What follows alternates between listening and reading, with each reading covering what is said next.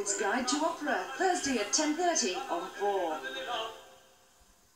Tonight's film on 4 is the tough, poignant tale of an Irish priest struggling with his faith and the brutal regime at the boys' remand home where he teaches until a young epileptic changes his life.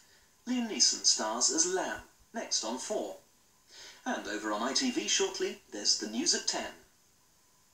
In this area, there have been 17 murders in the past two years, It's hard to go through, it was like a nightmare. and violence has risen at a terrifying rate. The bullet seemed to have skated straight across his, his face. I was terrified. I dropped down, there fell down. Dispatches reports from the troubled Moss Side area of Manchester, Wednesday at 9 on 4.